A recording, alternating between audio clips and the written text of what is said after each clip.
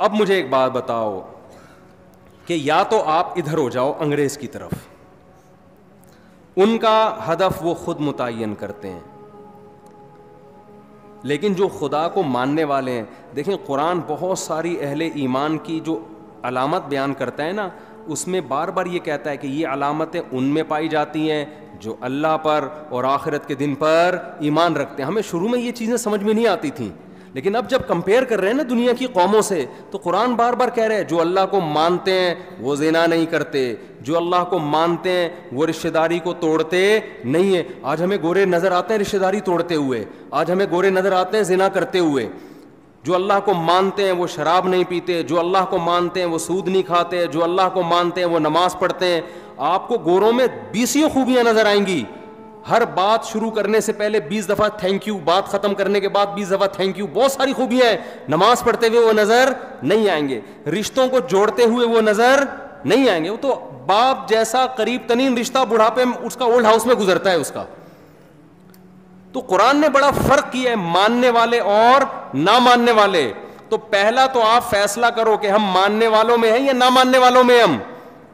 अगर मानने वालों में है तो आपको अपना ज़िंदगी का टारगेट खुद मुतन करने की इजाज़त नहीं है। फिर ये खुदा ने जो बताया, उस पर उस पर्पज पे आपको काम करना पड़ेगा। जो अल्लाह ने बताया है तो पहले तो ये क्लियर करें। देखो, बात कहाँ से शुरू होती है? जल्दी जल्दी समेटता हूँ, ये टॉपिक मैं बार बार रिपीट करता हूँ, लेकिन ज़रूरत है लोगों की। एक फैसला करो, हमें किसी ने बनाया है या हम खुद से बने हैं? गोरा कहते हैं, हमें सवाल के जवाब की ज़रूरत नहीं है। कुरान कहता है, सबसे पहले तुझसे यह सवाल पूछा जाएगा कि तूने यह फैसला कैसे कर लिया था कि मैं खुद बखुद वजूद में आया हूँ? यह फैसला तूने कैसे कर लिया था? अल्लाह ने हमें आज़ाद नहीं छोड़ा। हमें अपने रब के वजूद पर, उसकी तोहीद पर ईमान लाना पड़ेगा। यह ऑप्शनल नहीं है। अगर नहीं ईमान लाए, अल्लाह कहते हैं, हमेशा के लिए जहन्नम की आग और उसके ईंधन ईंधन बना दूँगा मैं तुम्हें। अल्लाह के लिए सबसे इंपॉर्टेंट सवाल और सबसे इंपॉर्टेंट नज़रिया हमारी ज़िंदगी में यह है कि हम उसके उसके वजूद को तस्लीम करते हैं या नहीं करते। ये सवाल साइंसदानों के लिए अहम नहीं है, ये सवाल डॉक्टरों के लिए अहम नहीं है, ये सवाल गोरों के लिए अहम नहीं है। देखिए, कुछ सवाल किसी के लिए अहम होते हैं, किसी के लिए इंपॉर्टेंट नहीं होते। मिसाल के तौर पर, आप जिस घर में रहते हो, आपकी बीवी के लिए सबसे इंपॉर्टेंट चीज़ क्या है? कि आप उसका शोहर इस बीवी को बीवी समझता भी है कि नहीं समझता? आप महल्ले वालों के हकूक अदा कर रहे हो। आप दोस्तों से अच्छे तरह से मिल रहे हो। आप क्रिकेट के बहुत अच्छे खिलाड़ी हो चौके छक्के लगा रहे हो। लेकिन घर में बीवी को आके कहते हो, मैं नहीं मानता आपको अपनी बीवी। तो उन छक्के, चौकों और उन कौम की खिदमत की बीवी की नज़र में कोई वैल्यू होगी? बोलो ना, वो कहेगी, मेरी नज़र में तू दो टके का इंसान नहीं है, मैं तेरे घर रुखसत होके आई हूँ। मेरा तेरे से रिश्ता है तो मुझे अपनी मान तो सही ना। मेरे हुकूक तो अदा कर। तो बीवी के लिए सबसे इंपॉर्टेंट सवाल क्या है? शोहर के हक में कि ये शोहर मुझे अपना मानता है या नहीं मानता। इसी तरह खूब समझ लो, शौहर के लिए जब बीवी का एक रिश्ता है तो उसमें सबसे इंपॉर्टेंट बीवी के लिए सवाल यह है कि ये मुझे अपना हस्बैंड मानती है या बोलो, नहीं मानती।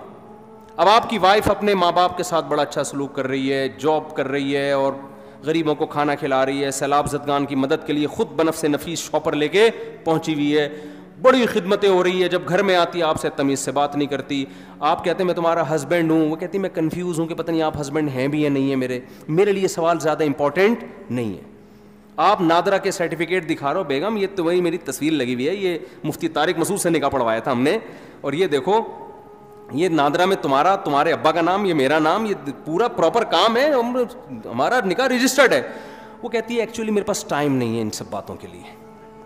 एक्चुअली मेरे पास इन सब बातों के लिए टाइम मेरे लिए सवाल ज़्यादा इंपॉर्टेंट है ही नहीं। मेरे पास तफ्तीश का टाइम ही नहीं। मैं डॉर्विन के नज़रिए को मानती हूँ। डॉर्विन क्या कहता है? कि इत्तेफाक से वजूद में आ गए। तो इत्तेफाक से आप हमारे घर में आ गए। देखने में शोहर शोहर लग रहे हैं आप। अब इस तफ्तीश में जाना कि ये डॉर्विन का नज़रिया ठीक था, गलत था, मैं इत्तेफाकी चीज़ों की कायल हूँ। साइंस से साबित करो कि तुम मेरे हस्बैंड हो। साइंस से कोई साबित कर सकता है? किसी का बाप भी साबित नहीं कर सकता। कोई लेबॉर्ट्री टेस्ट से कि ये इसका हस्बैंड है। कोई कर सकता है? बोलो ना, क्या हो गया? साइंस से कहाँ से साबित होगा भाई? ये तो गवाहों से साबित होगा, गवाह कहेंगे। आपके नहीं, मैं साइंस का स्टूडेंट हूँ, मैं साइंस के बगैर नहीं मानता। न्यूटन का कोई कानून पेश करो कि वसीम मेरा शोहर है। तो हम क्या कहेंगे, साइंस को गलत जगह फिट कर रही है भाई तू। ये यही सवाल ना, आजकल के लिबरल लोग कहते हैं, साइंस से खुदा का वजूद साबित करो। अव्वल तो साइंस से भी होता है, लेकिन एक मिसाल दे रहा हूँ। इतने सबूत अल्लाह ने अपने वजूद के दे दिए, इतने मज़बूत डॉक्यूमेंट्स पकड़ा दिए, इतने एक एक चीज़ इस कायनात में खुदा के वजूद की गवाही दे रही है कि ये चीज़ें खुद बखुद खुद नहीं बन सकती। और गोरा क्या कहता है, मेरे लिए यह सवाल इंपॉर्टेंट नहीं है कि हमें कोई बनाने वाला है या नहीं है।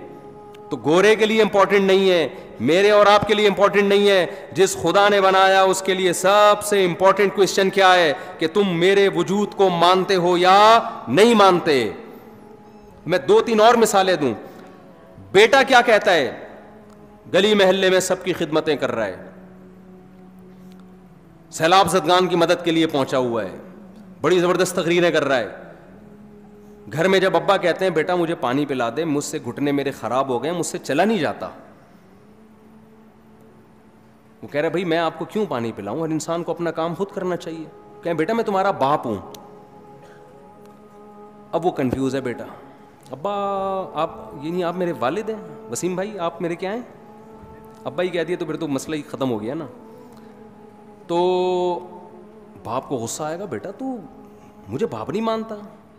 बेटा कह रहा है, अब्बा, असल में मैंने स्टडी और साइंसी तरक्की में इतना टाइम लगाया है ना कि मुझे इस सवाल के जवाब की फुर्सत ही नहीं मिली कि आप मेरे अब्बा हैं या इस तहकीक की मुझे, मेरे पास टाइम, मैं असल में बड़े बड़े कारनामे कर रहा हूँ। मैं अभी एक मेरा खलाई सैारा चाँद पे पहुँचने वाला है।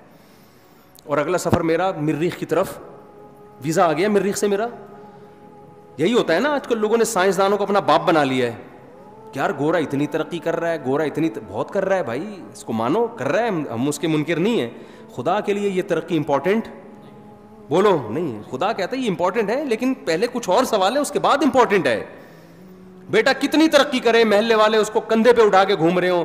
बाप के साथ अगर वो कहता है, मैं कंफ्यूज हूँ कि आप मेरे अब्बा भी हैं या नहीं है। अब्बा कहेगा, मुझे सबसे इंपॉर्टेंट सवाल मेरे ज़िंदगी में, मेरे लिए ये है कि तू मुझे मानता है या नहीं मानता? जब तक इसकी तहकीक नहीं कर देता, इस घर में तुझे घुसने की इजाज़त नहीं है। फ़ौरन सजा दे के निकालेगा, जायदाद से आग करेगा उसको। अब बेटा बड़ा लिबरल था ना, वो यूनिवर्सिटी का पढ़ा हुआ, कह रहा है, यार अब्बा गैर ज़रिए वसीम साहब, अब्बा तो नहीं कह रहा, गलती से निकल रहा है। ये जो वसीम साहब हैं, ये एक गैर ज़रूरी सवाल जो इंसानियत के लिए इतना इंपॉर्टेंट सवाल नहीं है। क्या हो गया अगर मैंने तफ्तीश नहीं की, तहकीक नहीं की? मैं मैं सलाब जदगान की मदद तो कर रहा हूँ ना। मैं साइंस में तरक्की तो कर रहा हूँ ना। ये सारी तकरीर से अवाम मुतासर होगी, बाप जिसका घर है, वो मुतासर, बोलो, नहीं होगा वो। वो नहीं मुतासर होगा। तो याद रखो, जो क्रिएटर है ना, जिसने हमें बनाया है, काश ये बात हमारी खोपड़ियों में बैठ जाए। आज इस एजुकेशन ने हमें खुदा के करीब लाने के बजाय खुदा से दूर कर। हम एजुकेशन के खिलाफ नहीं है, खूब समझ लो। जितनी एजुकेशन मुसलमानों में है, उससे डबल की ज़रूरत है। लेकिन कुछ कॉन्सेप्ट आपको क्लियर करना ज़रूरी है।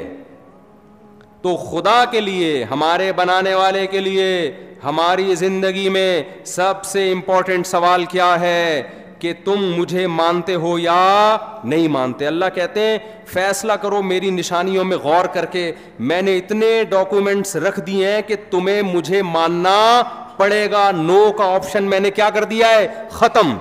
मलेशिया में एक आदमी मुझे मिला, मैंने उसको कहा, तुम खुदा को मानते हो? उसने कहा, मैं फ्री थिंकर हूँ।